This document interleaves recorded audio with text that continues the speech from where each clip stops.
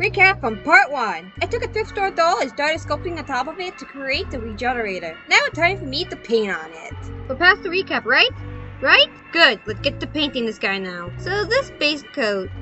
This base coat. Where do I begin with this one?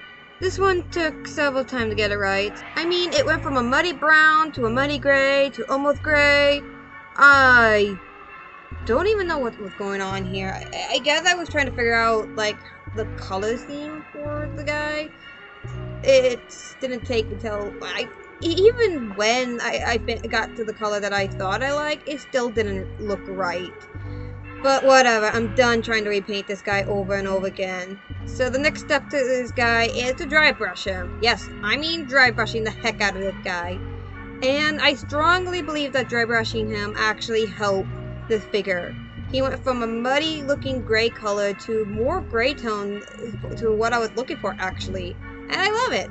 It really looked like the regenerator from the original Resident Evil 4. Not much so of the remake, but more of the original. Once all the dry brushing was done, it was time to move on to the creature's arm. Well, that one arm that looked like it's been taken through a blender and all. I mixed a few red colors together to get the color that I wanted, and I went to town with this one.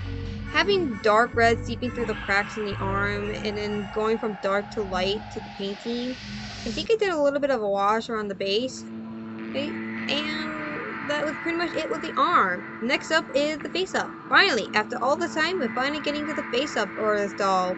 And nothing too special happened with the face. I really just used paint for his face up this time around. I completely forgot about pastel this time.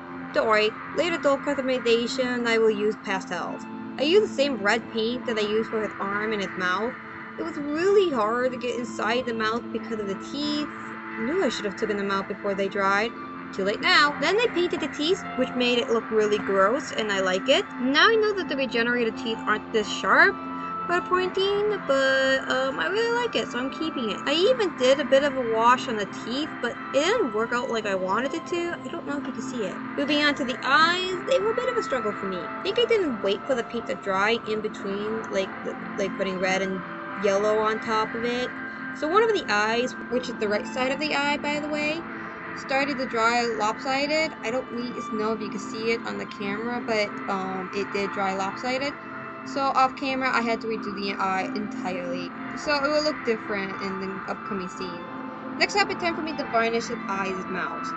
And also his arm, because I wanted it to be glossy. But before I actually varnish him, I actually off camera sprayed him down with Mrs. Super Clear. Then I varnish everything on him. Now that the doll is finally done, Hello there. it's time for us to get to the long-awaited board. This cutting board that I found at Goodwill. I think I had a different idea for this board, a different plan for it. Now it's becoming the base for the regenerator. I tried to remove what looked like food on top of the board, but it wasn't very successful.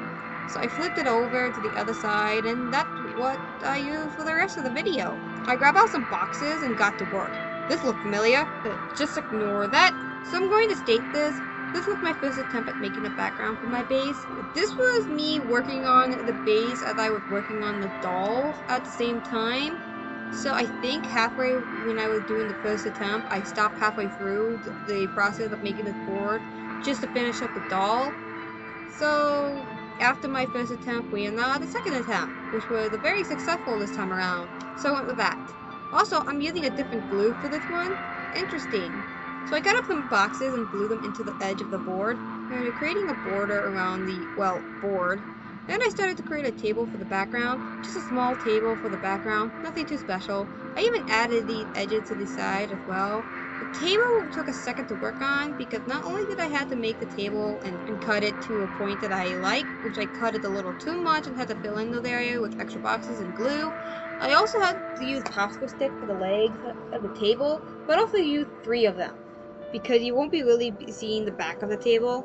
I even used popsicle sticks for like the edges of the table as well. I even made a door, which was a bit too small in my opinion. I didn't realize it until it was a little bit too late. Well, it was actually really late that I found out. Oh well, too late now.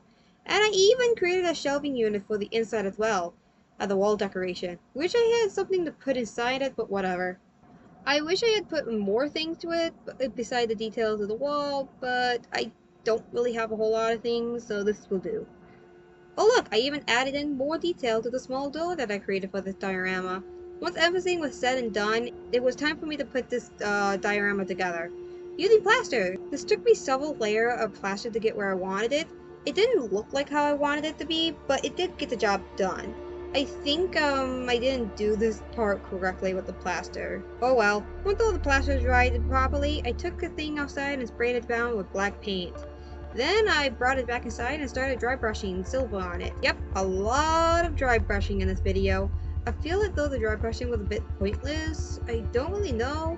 I did a lot of painting off camera because I was figuring out what I what I like and didn't like, but I recorded the last part of the process. A lot of watered down painting was done, and this took forever for me to do, because well, I'm not good at wash painting. But I believe I did alright to make it look really good, or whatnot, I don't know. Next up, blood. Well, painting in the blood, that is. Fake blood. Reason behind all of this blood? Needed the reason for the regenerator arm to look like it is. Someone had to send it to the blender, and this was the painting part that I really enjoyed. I, I don't know. Next up, it was time to put on the regenerator and the base together. Now at this point, I should have put in something over my work to protect it from paint chipping, but um, I forgot about that. So um, yeah, anyways, time for the regenerator to be in his new home. While I did use my own glue for this, I did use another glue called Uru, I think that's how you say it, uh, to make sure he ain't going anywhere. And here it is, the entire piece. Here is my abomination. Now all I need to do is find a place to lock him up in. Thank you guys so much for watching. So sorry that I put this video series into a two-parter, but I hope you guys enjoy anyway. Consider subscribing and I'll see you dragons next week. Bye dragons!